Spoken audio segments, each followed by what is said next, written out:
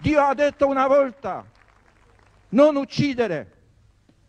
Non può uomo, qualsiasi, qualsiasi umana agglomerazione, mafia, non può cambiare e calpestare questo diritto santissimo di Dio. Questo popolo, popolo siciliano, talmente attaccato alla vita, popolo che ama la vita, che dà la vita, non può vivere sempre sotto la pressione di una civiltà contraria, civiltà della morte. Qui ci vuole civiltà della vita.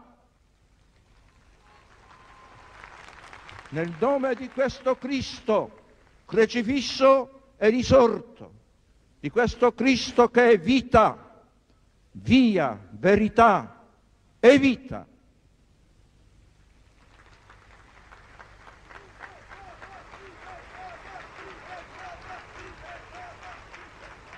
Lo dico ai responsabili, lo dico ai responsabili, convertitevi, una volta verrà il giudizio di Dio.